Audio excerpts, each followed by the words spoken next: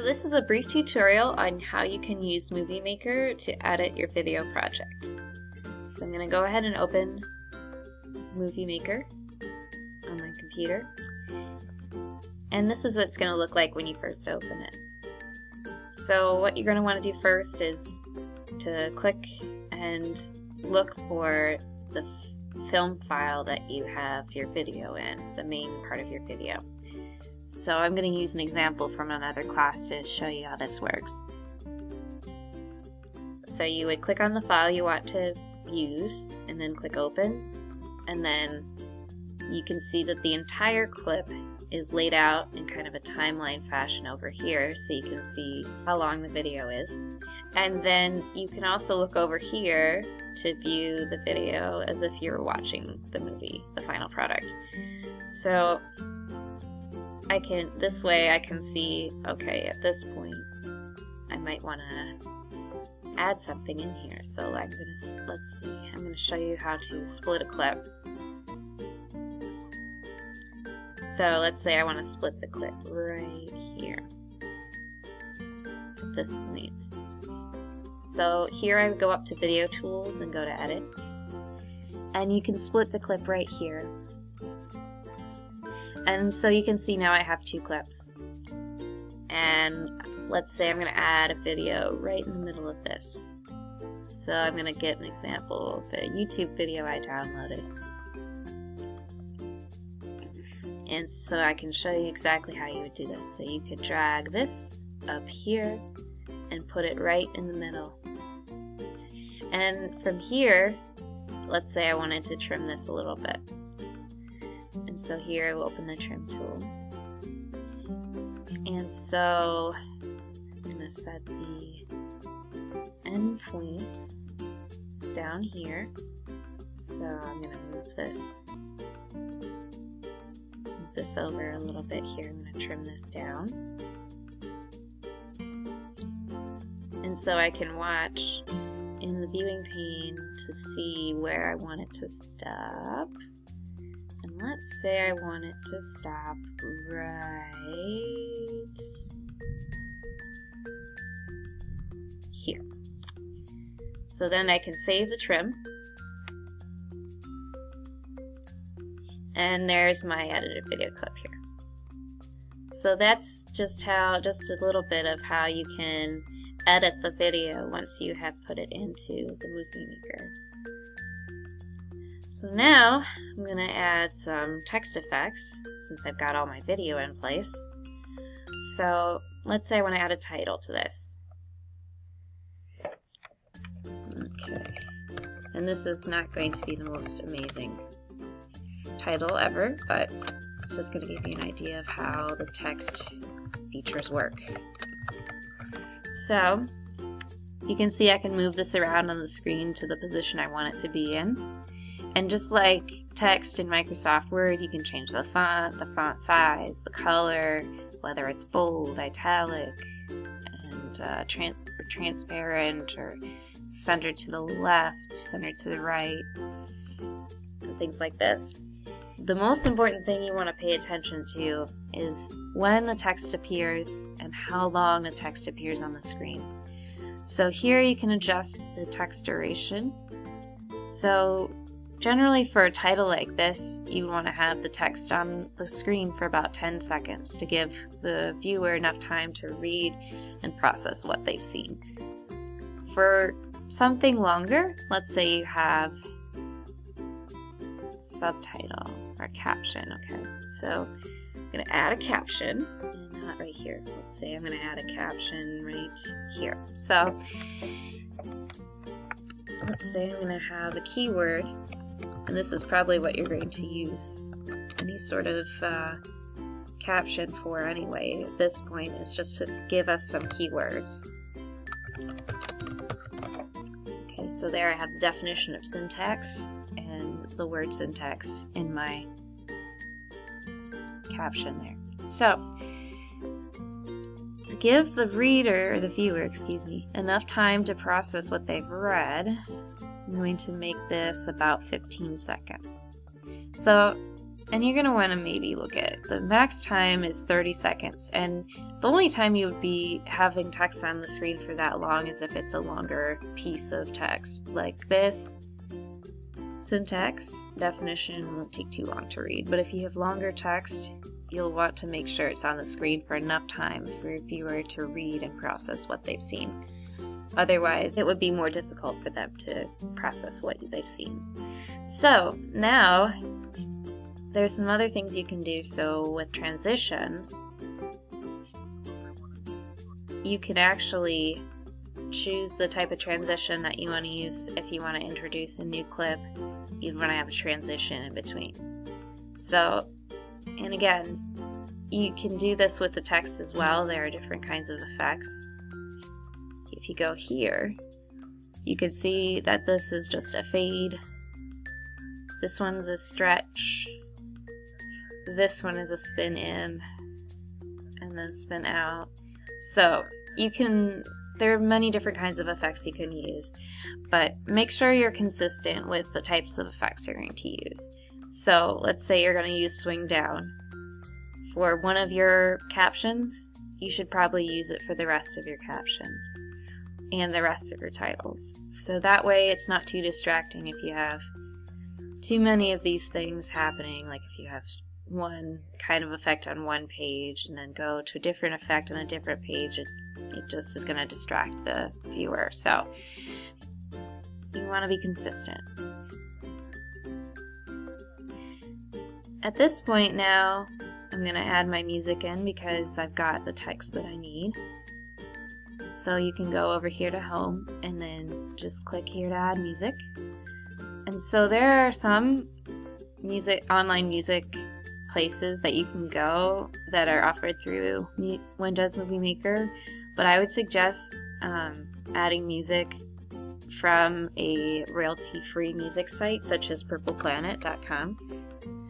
So again, that's purple-planet.com.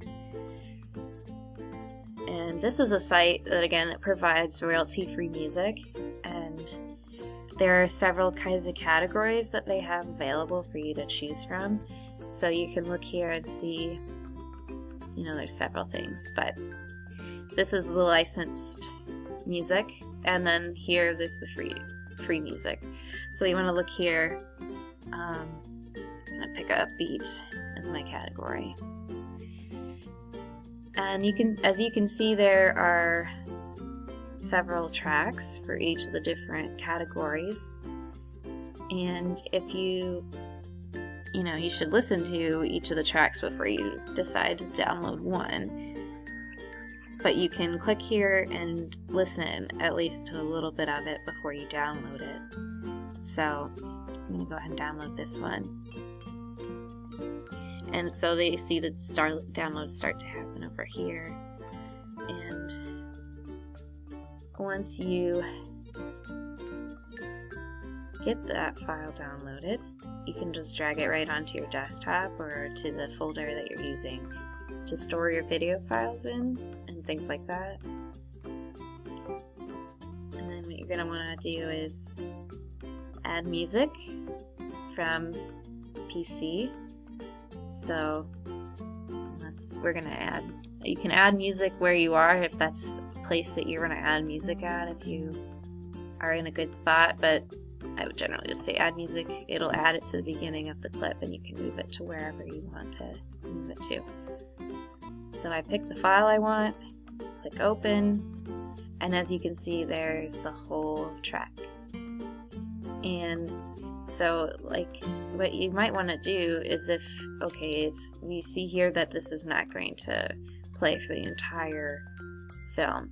So what I can do here is keep adding the file.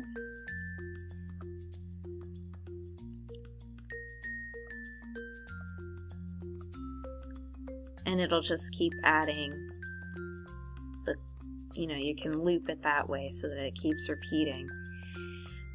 And what you're going to want to do too is when you've once you've added the music, you can check the volume to make sure that your music isn't too loud, it's not overpowering the speakers, but you also want to hear it. So you can look and see with music volume, You can adjust it so that it's louder or softer. And again, you want to make sure that you have that clip selected when you do this, or otherwise it won't work. So again, you can adjust the volume from here. And you can also adjust whether it fades in or out and to what degree, so slow, medium, or fast, either fade in or fade out. And that will help as far as uh, the volume is concerned. You can also split the um, audio track. There's a way to do that, but um, if you like, you can set the start point for the music and how you do that is you can again adjust the time frame the music track starts. And at the very end, of course, you want to have credits. So, what you'll do here is again, you can have, you put your group members' names in here, and you can have the text effect that you want as far as introducing the credits. And again, you'll want to make sure that the text stays on the screen long enough for everyone to read the credits, all of the different names and things like that. So again, you can set the text duration here. So once you're done, of course you want to save movie. And you can save it just for a computer.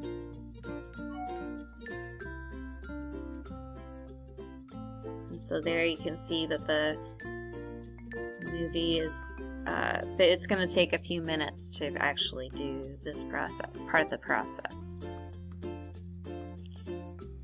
Okay, so you should get this message when your video is completely done processing. So now you can actually play the video as it is or open the folder that it's in.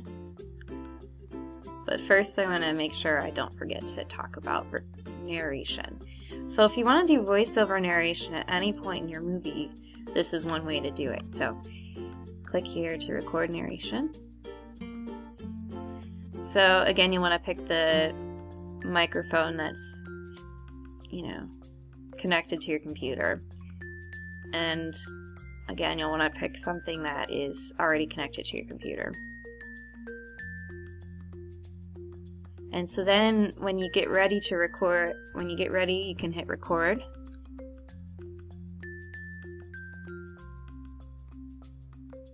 And here is where I'm going to add the voiceover narration to the movie. And so then it'll save your audio track so that way you don't lose it. I'm going to put that in music.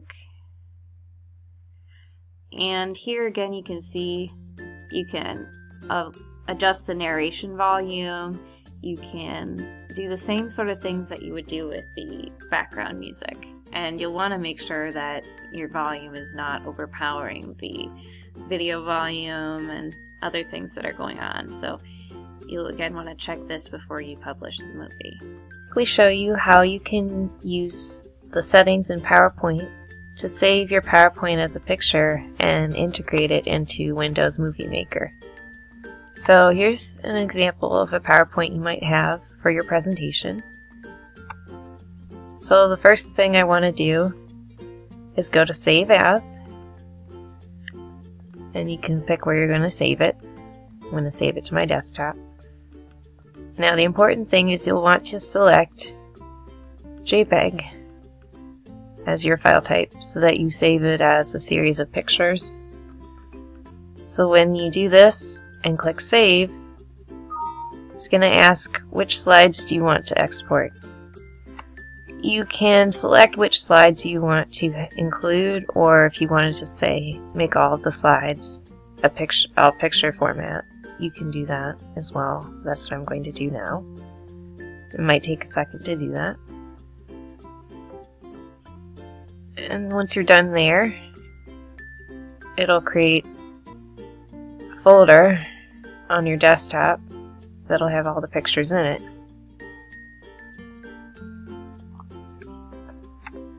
As you can see, each one is named slide 1, slide 2, and that way you can know which slide is which. So now I'm going to go to Movie Maker. And all I need to do if I want to put in all of the slides or just a few, I go to Add Videos and Photos. And then I go to where I have saved my PowerPoint slides as they're not pictures. And then I can select which slides I want to insert. So again, if you want to select multiple slides, you can hit control and put all of them in there and arrange them how you like. Make sure not to copy them. And then when you've selected the ones you want, you can click open. If there's any at some point that you want to get rid of, you can remove them. And again, as you insert video clips and things like that, you'll be able to move the, the PowerPoint slides around, and you'll also be able to add narration or webcam video onto your PowerPoint slides as well.